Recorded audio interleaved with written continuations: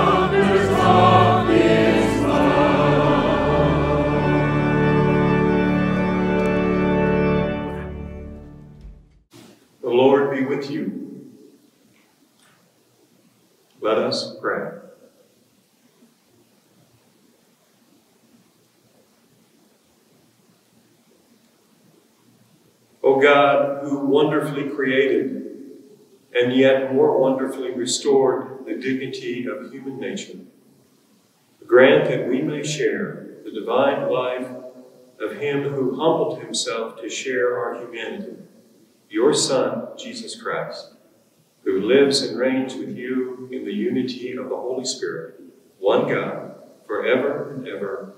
Amen. Let us pray in unison. How dear to me is our, your dwelling, O Lord of hosts. My soul has a desire and longing for the courts of the Lord. My heart and my flesh rejoice in the living God. The sparrow has found her a house, and the swallow a nest where she may lay her young. By the side of your altars, O Lord of hosts, my King and my God. Happy are they who dwell in your house. They will always be praising you. Happy are the people whose strength is in you whose hearts are set on the pilgrim's way. Those who go through the desolate valley will find it's a place of springs, for the early rains have covered it with pools of water. They will climb from height to height, and the God of gods will reveal himself in Zion. Lord God of hosts, hear my prayer. Hearken, O God of Jacob. Behold our defender, O God, and look upon the face of your anointed.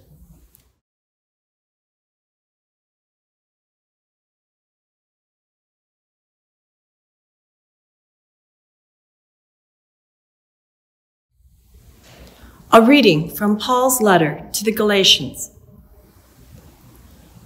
When the fullness of time had come, God sent his Son, born of a woman born under the law, in order to redeem those who were under the law, so that we might receive adoption as children.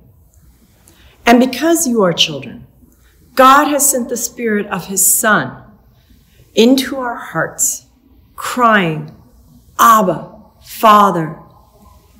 So you are no longer a slave, but a child. And if a child, then also an heir through God. The word of the Lord.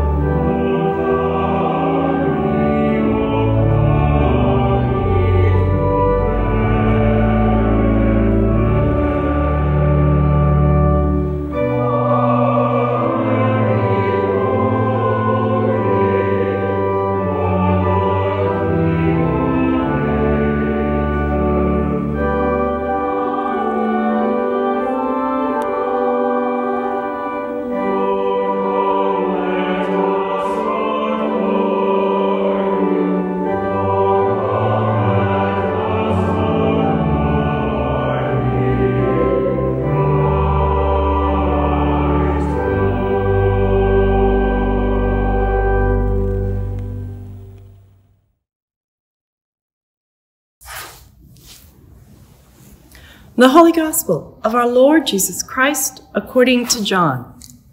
Glory to you, Lord Christ. In the beginning was the Word, and the Word was with God, and the Word was God. He was in the beginning with God. All things came into being through him, and without him, no one thing came into being. What has come into being in him was life, and the life was the light of all people. The light shines in the darkness, and the darkness did not overcome it. There was a man sent from God, whose name was John. He came as a witness to testify to the light, so that all might believe through him. He himself was not the light but he came to testify to the light. The true light, which enlightens everyone, was coming into the world. He was in the world, and the world came into being through him. Yet the world did not know him. He came to what was his own, and his own people did not accept him. But to all who received him, who believed in his name, he gave power to become children of God, who were born not of blood, or of will, of flesh, or of will of man, but of God. And the Word became flesh and lived among us, and we have seen his glory, the glory of a Father's only Son, full of grace and truth. John testified to him and cried out, This was he of whom I said, He who comes after me ranks ahead of me because he was before me. From his fullness, we have all received grace upon grace. The law indeed was given through Moses. Grace and truth came through Jesus Christ. No one has ever seen God. It is, on, it is God, the only Son, who is close to the Father's heart, who has made him known. Glory, the gospel of the Lord. Praise to you, Lord Christ.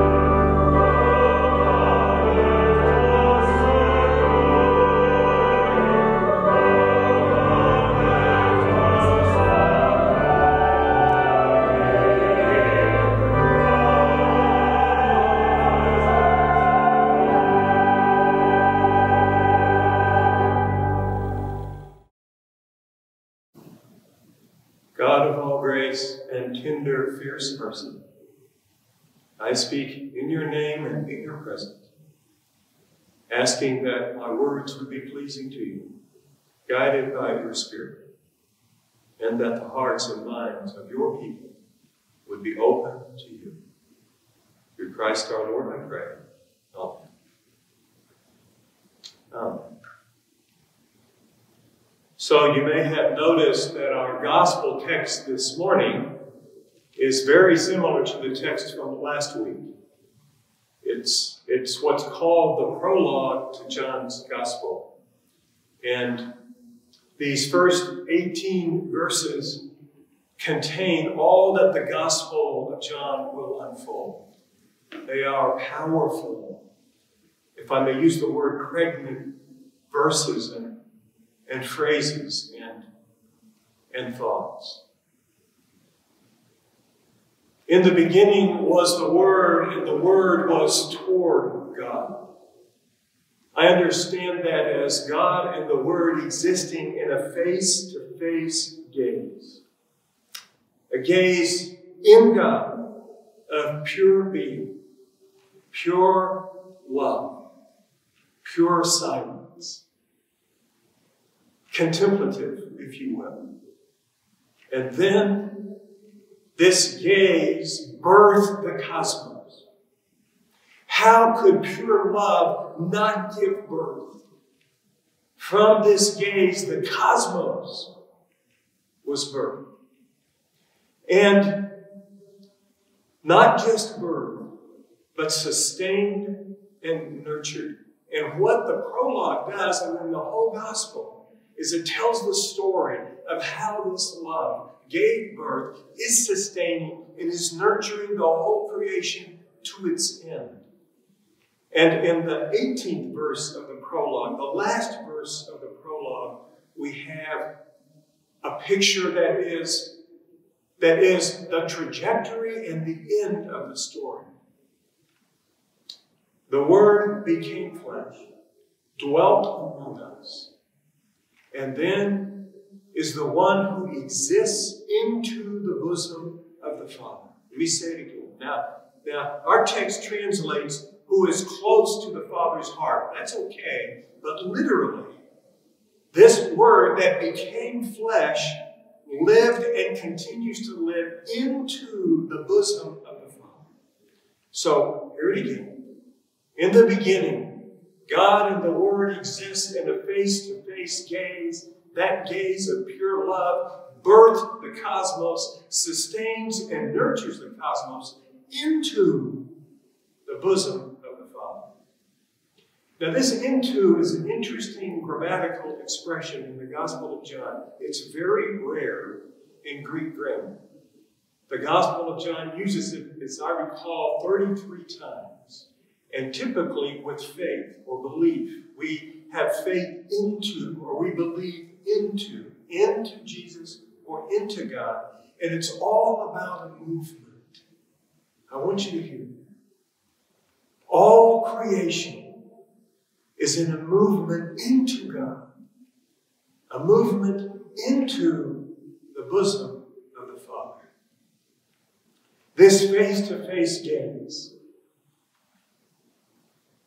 in God, this face to face gaze of pure love.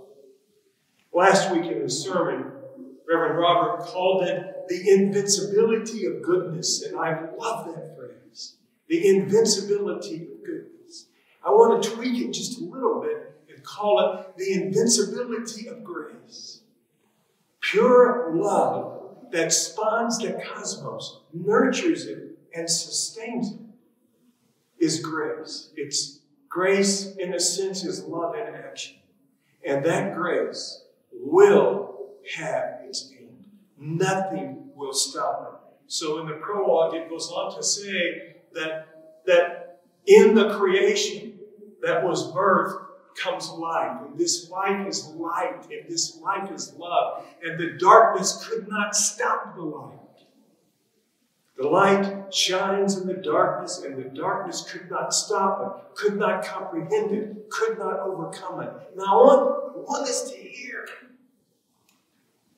The first century was no less dark than what we're experiencing today.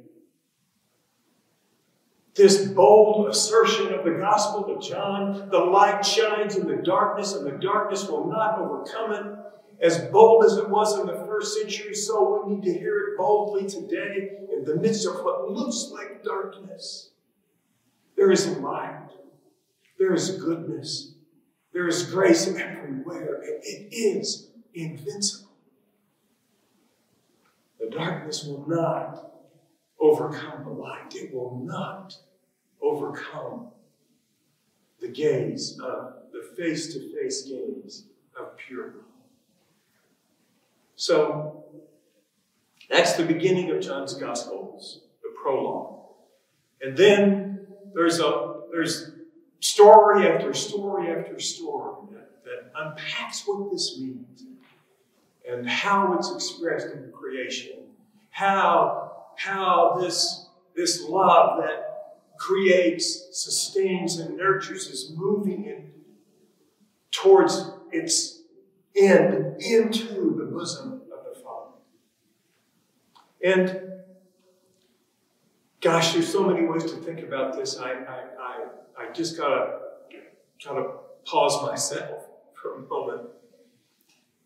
And I just want to dive into a couple of the stories in John's Gospel that want to help us. And the first one is the story of Nicodemus, the one I, I want to talk about. Is the story of Nicodemus when, when Nicodemus, uh, uh, a leader, a Pharisee, a, a leader, a teacher of, of the religious people, comes to Jesus and, and asks a question. And Jesus says, Nicodemus, unless you are born again, you can't even see the kingdom of God. And I want to, again, I want us to think bigger than just the word kingdom. Don't get limited by that. You can't see the ways of God. You can't see what God is doing unless you are birthed anew. And all, we all know the story, and Nicodemus is confused. But, but here's the profound truth the creation is waking up. It already exists in the bosom of the Father, it just doesn't know it. And so the movement is not necessarily linear, it's going deeper. It's the creation discovering its origin in the face to face game. And all of us, day by day, we're being invited to wake up, to see differently. We can't make ourselves see. We can ask, we can open ourselves, we can realize I need to be awakened. To what? The next story we want to talk about is the woman at the well. And again, we know the story. The woman comes to Jesus, comes to the well where Jesus is, and Jesus is tired and he's sitting at the well. And so a woman comes to draw water, and, and Jesus strikes up a conversation with her, a conversation he's not supposed to strike up with her. Turns out the woman is a Samaritan. The woman has had five husbands, and the woman is living with a man who's not our, her husband. And the woman has all kinds of, of moxie and, and strength. And she's engaging Jesus in a conversation. And, and Jesus cares nothing about what might look like he's not supposed to be in a conversation with the woman because Jesus is coming from this place of pure love, pure grace. And remember, grace is unmerited favor. The woman doesn't have to merit favor. The creation never has to merit God's favor because God loves all that God has birthed. It's not possible for God not to love what God has created and is sustaining and is nurturing. That's where Jesus is coming from. And what might look like darkness all around, Jesus is just pure light. And he's shining the light on this woman and inviting her to receive it. And he calls it living water. Invites her to receive the living water.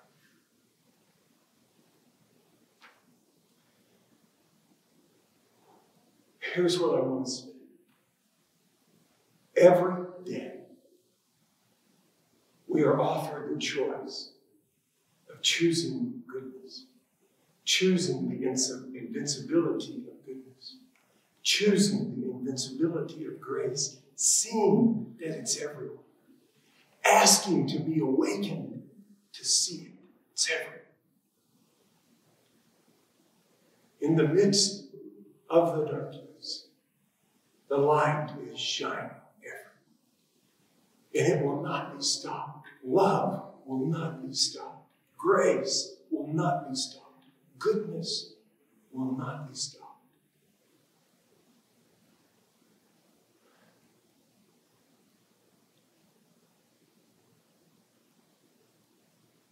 This is the gift of Christmas.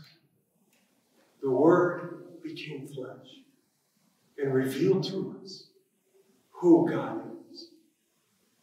The law came through Moses. Grace truth came through Jesus. Grace upon grace, nurturing us into the bosom of the Father. Merry Christmas.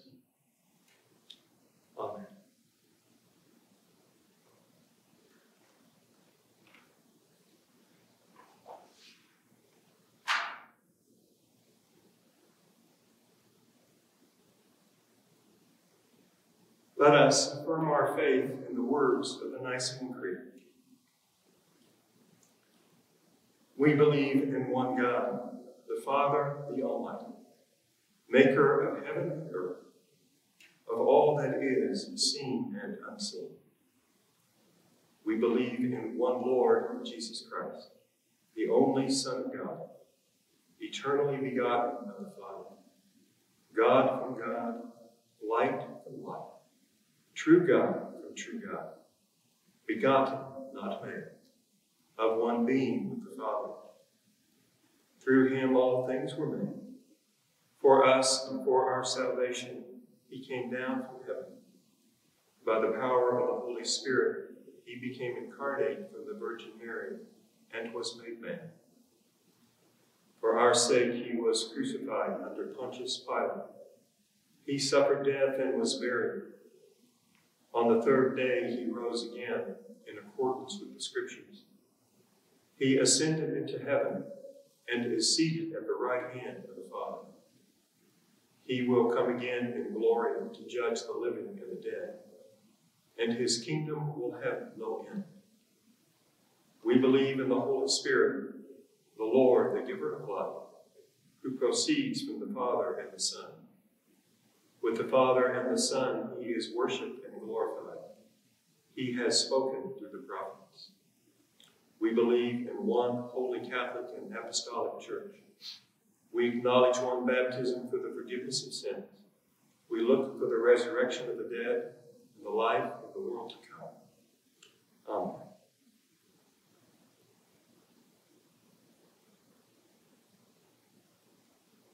Rejoicing in the love of God made flesh in Christ Jesus, let us bring the petitions of our heart this Christmas, saying, Lord, hear our prayer.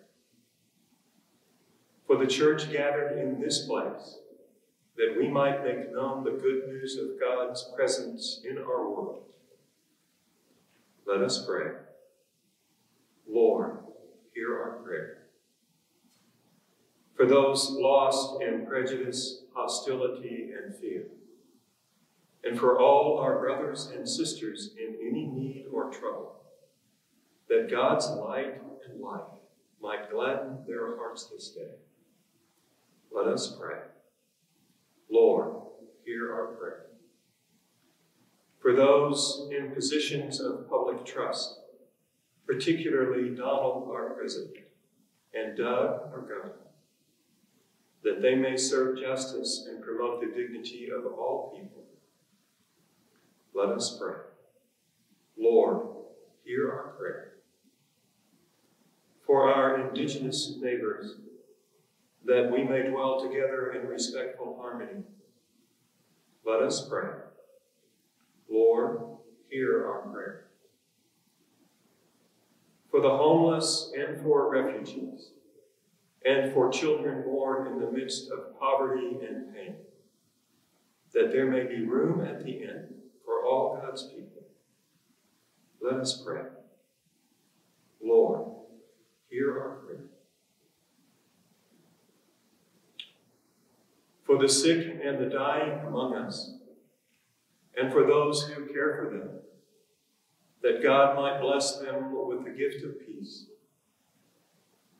Today we pray for Shirley, Karen, Nancy, Carrie, Jerry, Lynn, Betty, Bud, James, Ellis, Tony, Michael Anthony, Phyllis, Brad, Aaron, Judy, Jay, Rita, Janet, Richard, Karen, Christopher, Jan, Steve, Allison, Calvin, McLaren, Chris, Marty, Wynn, Peter, Maureen, Diana, Jeremy,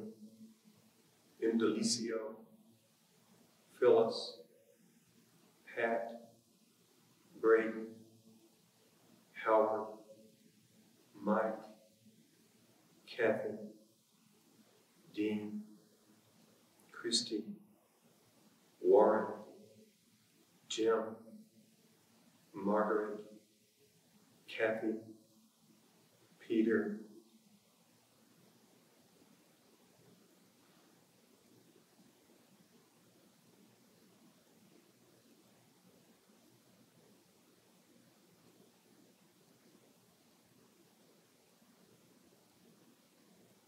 Chris, Connie, Rudy, Marina.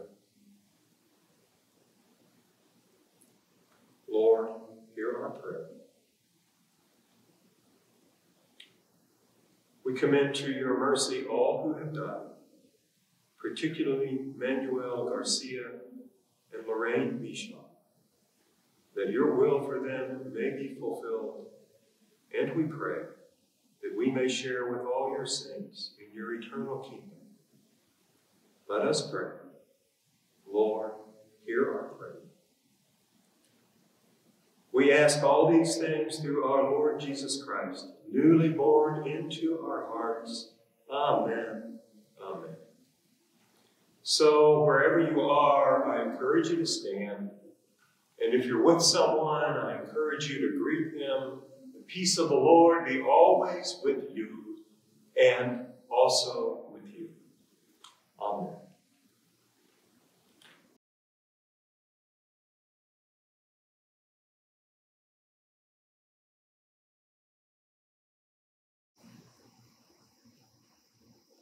Greetings, St. Barnabas.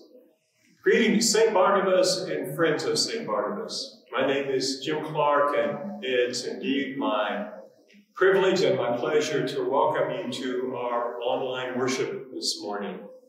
So, I trust you will have seen the message we put out that we've decided for the month of January to return to recorded worship services, worship online together rather than in person. And I, I, direct you to our website for that message rather than repeat it now.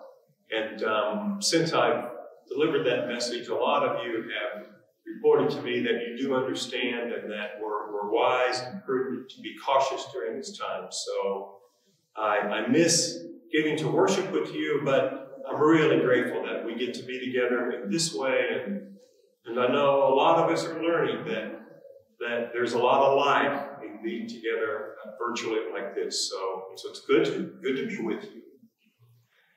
Well, we continue our custom at St. Barnabas, of praying with people who have birthdays or anniversaries or other special occasions. If that's you, I invite you to stand and let me pray with you. And I invite all our viewers and worshipers to pray with us. And by the way, today is the second birthday of our granddaughter, Naomi. So I include Naomi in these prayers. Let us pray. Oh God, our times are in your hands. Look with favor on these your servants as they begin another year. Grant that they might grow in wisdom and grace. Strengthen their trust in you and your goodness, now and all the days of their lives. And in these coming days, Lord Jesus, grant them grace to be awakened, to live into you, to live into grace and goodness and love. In your name we pray. Amen. Amen. So, I want to say thank you again to all those who made our Christmas services so glorious and wonderful and beautiful. What a joy we had worshiping, and really all through Advent and and then especially Christmas Eve and Christmas Day and, and the first Sunday after Christmas. We've just had a glorious time. My heartfelt thanks to all who made that possible and all who participated and, and uh, watching and being a part of this thriving, loving community is a huge gift to, to all of us. So just thank you. Yesterday was our December food drive, and we had a spectacular turnout for it. Let me um, also point out that we had, we prepared hundreds of hygiene packs for um, COVID patients who are homeless. And so we, we had the opportunity to serve and minister to, to homeless people with COVID. And, and what a gift. Thanks to all of you for, for participating in that. I'd like to point out that Faith Formation, Zoom Faith Formation, for adults uh, resumes on January 17th, and for our children, it resumes on January the 10th. That's next Sunday.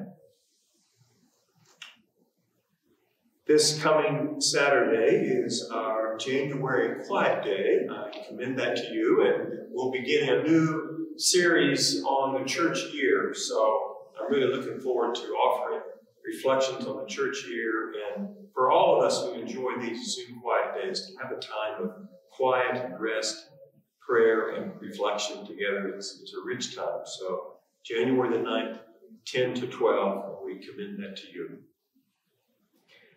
I remind you that our yearly celebration is on Zoom this year. It will be January the 31st. That's where we conduct our business and we celebrate the, the year we just had in 2020. And, you know, as challenging as it's been, there have been a lot of gifts that have, that have come to us in 2020, and especially the gift of community. So we'll have a lot to celebrate January 31st at our annual meeting. Finally, I want to thank you for your continued generosity. We, we, we're in, in our pledge campaign, and the, um, the status of that has been announced, and I apologize, I'm kind of stumbling right now. I think you can find the update on our pledge campaign on our website.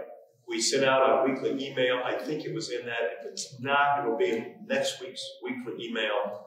But go to our website and you'll, you can see where we are with our pledge campaign. Let me say thank you so much for your continued generosity and support of our church. If you've not yet made your pledge, you can do it online or you can call the church office and ask for Katie, and Katie can help you make your pledge that way if you'd like.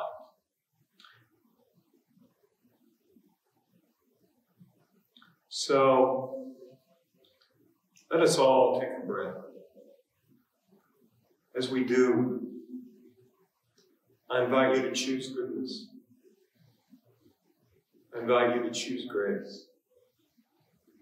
I invite you to choose love. And from the place of goodness and grace and love, let us offer ourselves afresh to the God who is grace upon grace, boundless presence.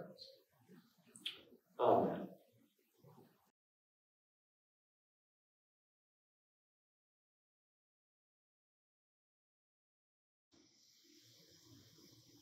Let us now pray in the words Jesus gave us. Let us pray for the coming of God's kingdom. Our Father, who art in heaven, hallowed be thy name. Thy kingdom come, thy will be done, on earth as it is in heaven. Give us this day our daily bread, and forgive us our trespasses, as we forgive those who trespass against us and lead us not into temptation, but deliver us from evil. For thine is the kingdom, and the power, and the glory, forever and ever. Amen.